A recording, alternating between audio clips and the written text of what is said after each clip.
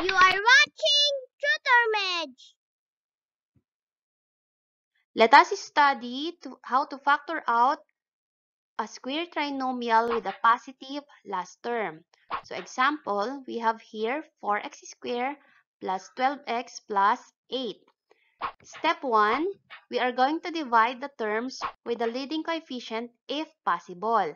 If not, divide the terms with the common divisor. So let us try 4. So let us divide everything by 4. Now dividing 4x squared by 4, we can have now the simplified form x squared plus 3x plus 2. For step 2, the first thing we'll do is to factor the first term. Okay, we have here x squared, so we'll factor that out. So we have x and x.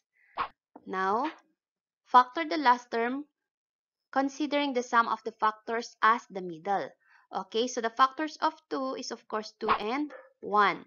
So when we add up 2 and 1, we get 3. So that is now correct. Now, for the next one, we have to carry the sign of the middle term as operation of the binomial factors. Since we have here positive, meaning we have 2 plus operation inside our binomial factors. Now for step 3, we just simply rewrite the factors preceded by the common divisor in step 1. So these 4 now will be written here. We have 4 times x plus 2 and then we have x plus 1. Therefore, 4x squared plus 12x plus 8 has the factors 4 times x plus 2 times x plus 1. Now let's have another example. So we have here 5x squared minus 35x plus 60. Okay, so let's have the first step. Divide the terms with the leading coefficient if possible and if not, divide the terms with common divisor. So this time we can divide everything by 5. Therefore, let us divide it by 5. And simplifying this one, we got x squared minus 7x plus 12. For step 2, we are going to factor the first term. So x squared will have x and x. And then we factor out the last term. So take note, if we factor out this one, we should have the sum of the factors as the middle term. So what are the factors of 12 wherein if we are going to add them up, it will sum up to 7.